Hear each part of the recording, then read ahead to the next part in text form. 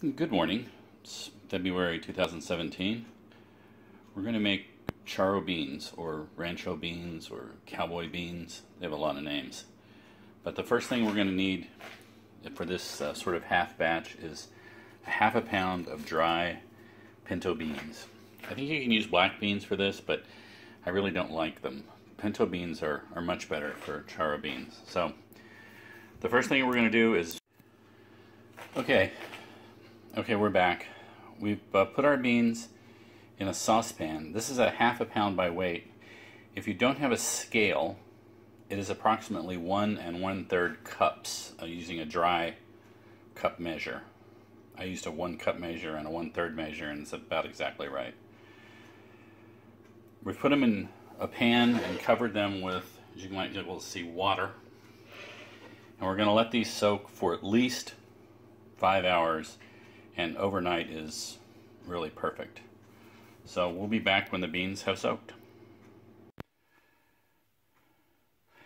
For this uh, bean recipe, we're going to need a little bit of bacon. I generally buy bacon when the grocery store is wanting to get rid of it, and they're selling it for a dollar a pound, as you can see here. And then I just cut off about what I think is three strips of it when it's frozen and fry it up. So I'm going to show all the ingredients together, but this one I wanted to show the the cost was uh, really a dollar.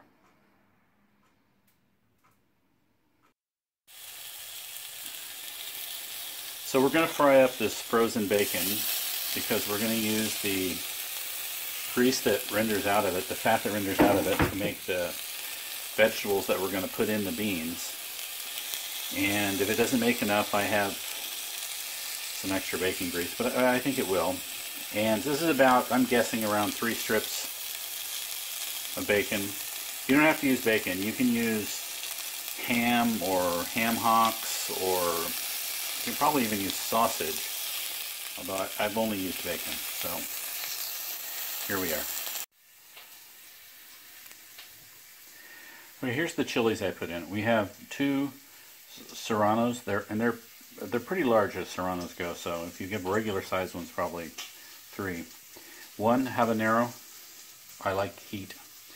And one jalapeno, and I clean the guts out of the jalapeno because I, I'm not fond of the texture of all that that fibrous material in the middle of them. So, but I don't clean really the other peppers. I get rid of a few of the seeds, but but barely nothing else. I uh, I like the heat. But anyway, so two serranos, a jalapeno, and a habanero. We're going to dice all this. I'm going to show all the ingredients together, but this is how they're coming together. Okay, here we have a half of a white onion, a half of a large white onion that's cut in a, a reasonably small dice. We're going to fry it or uh, uh, caramelize it a little bit, not completely, just kind of warm it up with the peppers. So it's a half of a large white onion.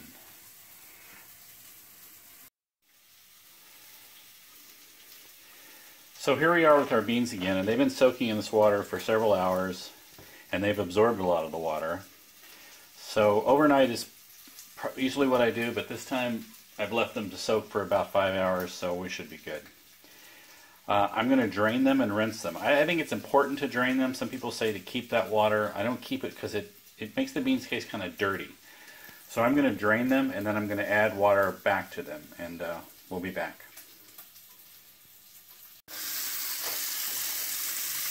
Okay, this is how I do it. I drain them and then I rinse them really well in a, a sieve here so that the beans are pretty clean. After rinsing the beans, I add them back to the same pan which I rinsed and I add enough water to cover them about, I don't know, three quarters of an inch or so. We can always add more water later. Keep in mind we haven't added any salt to this and we're not going to for quite a while.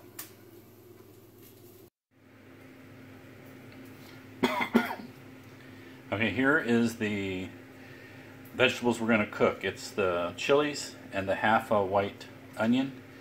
And as soon as the bacon's done rendering, we're going to take it out and put these in the bacon grease and soften them up a little bit. Over here, don't get dizzy. I turned the beans on kind of a low heat just to start them warming up.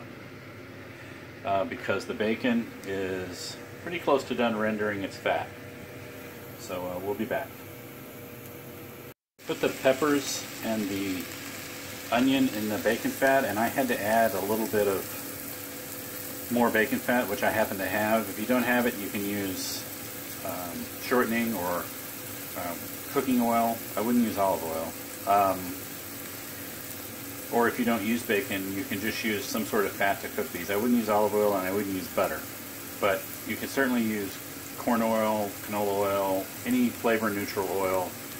Uh, traditionally the recipe would use lard. I never have lard, so I use bacon fat, which is just rendered pork fat like lard is. And when you do this, when you start cooking your vegetables down, turn your beans up on high heat so they come to a boil and watch them closely.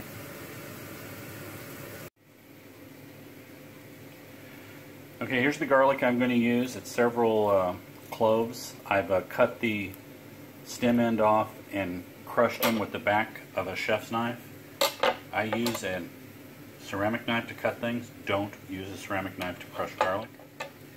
We're not going to chop the garlic, we're just going to crush it and take the paper off. Uh, if you're the kind of person that doubles the amount of garlic in recipes, you should know that's already been done once. Most recipes would call for less than half this much garlic, but I like garlic, so here we go.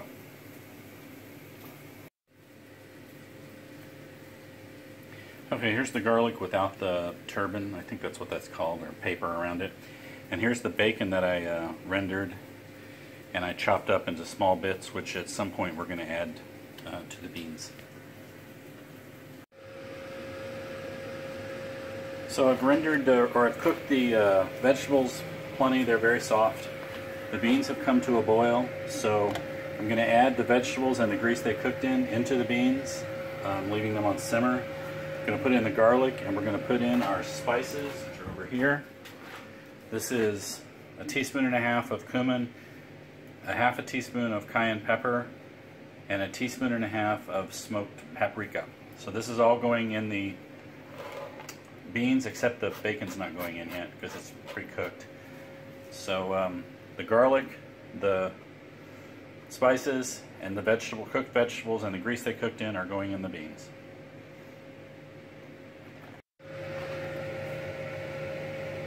Okay, we have the beans, the garlic, the spices, which is a half a teaspoon of cayenne, a teaspoon and a half of paprika, and a teaspoon and a half of cumin, as well as the vegetables that we cooked down in the bacon grease and the bacon grease that they were cooked in, in the beans. I'm going to bring this back up to a boil. I'm going to cover it, bring it up to a boil, then reduce it to a simmer and let it cook for about an hour, but you need to check it after, you know, maybe every 10 minutes or so and make sure it's not getting too dry. You don't want this to get it all dry. This needs to be soupy. So if it's getting dry, add a little bit more water to it. So here we go.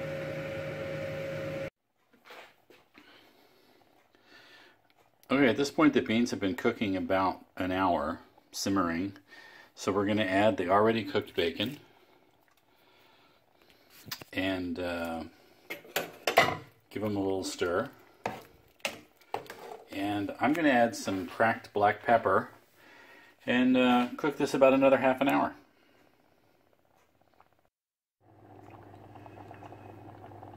Okay, the beans have been cooking about an hour and a half, simmering covered, and um, they're a little thin. I think the gravy's a little thin, so I'm going to cook them with the lid off for a little while, and I'm going to add um, a handful of chopped cilantro. Stir it up.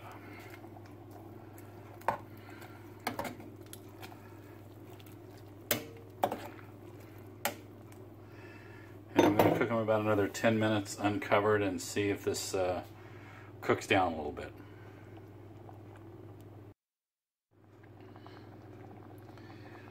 At this point, the beans have cooked about an hour and 40 minutes simmered. And um, I'm going to taste them and see how soft they are. You definitely don't want these beans to be, this is not pasta, you don't want them to be al dente. You want them to be soft, so I'm going to give it a test and we'll see where we are.